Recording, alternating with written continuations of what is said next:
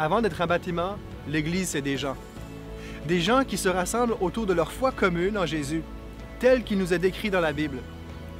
L'Église s'applique à suivre les traces de ce Jésus, qui aujourd'hui encore exerce un impact positif sur un grand nombre de personnes, et ce, tout arrière-plan confondu.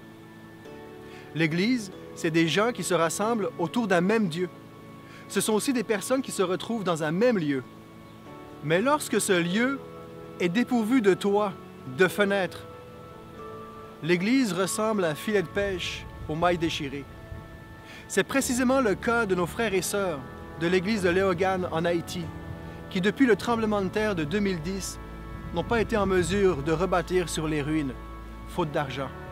Malgré tout, ils s'impliquent activement dans leur région. Ils rêvent d'un endroit qui serait à l'abri des intempéries et des vols, d'un lieu où ils pourraient offrir de l'aide aux plus démunis, de locaux fermés où ils pourraient ouvrir des classes de scolarisation et de formation d'ouvriers. En un mot, ils rêvent d'un lieu où ils ne seraient plus limités pour accomplir leur mission. Ils ont une vision pour leur communauté, les effectifs et la volonté pour l'accomplir. Mais sans toit ni fenêtre, leurs actions sont limitées. Sans compter qu'ils sont la proie des moqueries des passants. Car comment croire en un Dieu qui pourvoirait au pardon des péchés et à la vie éternelle quand il n'est même pas en mesure de pourvoir pour un toit et des fenêtres au lieu où se rassemblent les siens?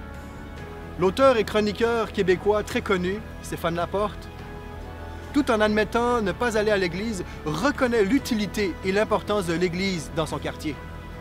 Il va jusqu'à nous lancer un cri dans l'une de ses chroniques en écrivant ⁇ Ne laissons pas mourir l'Église. Ceux qui la bâtissaient avaient la foi. Et ça, ça paraît, même pour quelqu'un qui doute.